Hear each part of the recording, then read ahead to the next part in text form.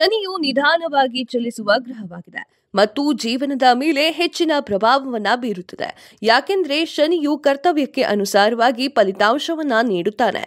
ಮೂರು ಅಕ್ಟೋಬರ್ ಎರಡ್ ಸಾವಿರದ ಇಪ್ಪತ್ನಾಲ್ಕರಂದು ನಕ್ಷತ್ರ ಪುಂಜಗಳನ್ನ ಬದಲಾಯಿಸಿದ ನಂತರ ಮತ್ತು ಶತಭಿಷ ನಕ್ಷತ್ರವನ್ನ ಪ್ರವೇಶಿಸಿದ ನಂತರ ಈಗ ದೀಪಾವಳಿಯ ನಂತರ ಶನಿಯು ಹದಿನೈದು ನವೆಂಬರ್ ಎರಡ್ ಸಾವಿರದ ಇಪ್ಪತ್ನಾಲ್ಕರಂದು ಕುಂಭ ರಾಶಿಯಲ್ಲಿ ನೇರವಾಗಿ ಚಲಿಸಲಿದ್ದಾನೆ. ಶನಿಯ ನೇರ ಚಲನೆಯು ನಾಲ್ಕು ರಾಶಿ ಚಕ್ರದ ಜನರಿಗೆ ಡಬಲ್ ಲಾಭವನ್ನ ನೀಡುತ್ತದೆ. ನೀಡುತ್ತದೆ ಶನಿಯ ನೇರ ಸಂಚಾರವು ವೃಷಭ ರಾಶಿಯವರಿಗೆ ಸಾಕಷ್ಟು ಪರಿಹಾರವನ್ನ ನೀಡುತ್ತಾನೆ. ನಿಮ್ಮ ಜೀವನದಲ್ಲಿ ಅನೇಕ ಸಮಸ್ಯೆಗಳು ಸ್ವಯಂಚಾಲಿತವಾಗಿ ಪರಿಹರಿಸಲ್ಪಡುತ್ತದೆ. ನೀವು ಕೆಲವು ಉತ್ತಮ ಸುದ್ದಿಯನ್ನ ಪಡೆಯುತ್ತೀರಿ. ಬಹಳಷ್ಟು ಹಣವನ್ನ ಗಳಿಸುವುದರ ಜೊತೆಗೆ ನೀವು ನಿಮ್ಮ ವೃತ್ತಿ ಜೀವನದಲ್ಲಿ ಪ್ರಗತಿಯನ್ನ ಹೊಂದೀರಾ ಮಿಥುನ ರಾಶಿಯವರಿಗೆ ಶನಿಯು ನೇರ ಸಂಚಾರವು ಶುಭ ಫಲಿತಾಂಶವನ್ನ ನೀಡುತ್ತದೆ. ವಿಶೇಷವಾಗಿ ವ್ಯಾಪಾರಸ್ಥರು ಹೆಚ್ಚಿನ ಲಾಭವನ್ನ ಪಡೀತಾರೆ. ಜೀವನದಲ್ಲಿ ಸಂತೋಷ ಇರುತ್ತದೆ. ಸಮೃದ್ಧಿ ಕೂಡ ಹೆಚ್ಚಾಗುತ್ತದೆ. ಶನಿಯ ನೇರ ಸಂಚಾರವು ಕುಂಭ ರಾಶಿಯವರಿಗೆ ಸಾಡೆ ಸಾತಿನ ತೊಂದರೆಗಳಿಂದ ಪರಿಹಾರವನ್ನ ನೀಡುತ್ತದೆ. ಈಗ ವೆಚ್ಚಗಳು ನಿಯಂತ್ರಣಕ್ಕೆ ಬರಲು ಆರಂಭವಾಗುತ್ತದೆ. ನಿಮ್ಮ ಆದಾಯ ಹೆಚ್ಚಾಗುತ್ತದೆ ಮತ್ತು ಹಣಕಾಸು ಸಮಸ್ಯೆಗಳು ದೂರವಾಗುತ್ತದೆ. ಅದೃಷ್ಟ ನಿಮ್ಮ ಕಡೆಗೆ ಇರುತ್ತದೆ.